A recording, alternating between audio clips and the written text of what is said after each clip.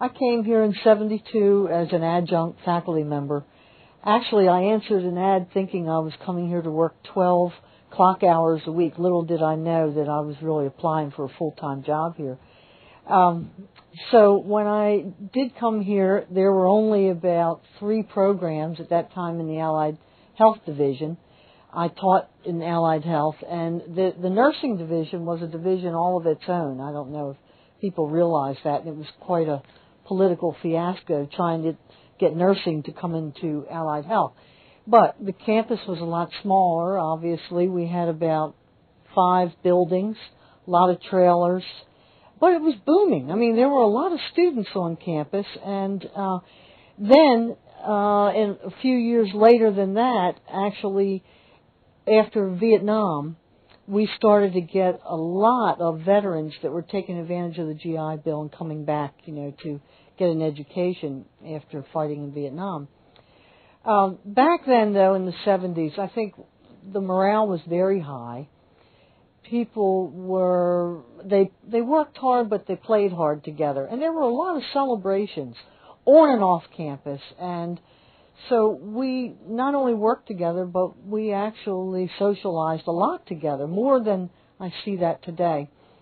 But it didn't seem like there was a lot of contention between faculty and administration back then. They all partied together, and they all seemed to get along real well. I mean, it was it was typical of faculty thinking that the administrators really were somewhat meaningless and bureaucratic and um, out of touch with the mission of instruction, and then administrators thinking faculty were narrowly focused and self-serving and all that.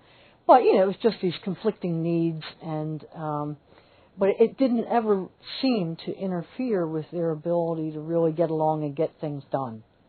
Um, it was a lot more collaborative. And Wanty was the president in the 70s, and um, and he was a distinguished Englishman. Um, then, after Dr. Wanty left, uh, John Ravekes was president, and Don Slowinski was dean of students. And Don um, hired was who the one that hired me into the admissions area in the first place. And Don loved to tell stories. He was very witty and very eloquent in his speaking, and um, he he was the uh, game show host. We created a game show called Data Race, and Don was the host and moderator of that show. And the admissions office produced it, and so we had to uh, work on getting the questions. 24 high schools were involved, and uh, they won a first place tournament trophy and then three full tuition scholarships to Essex.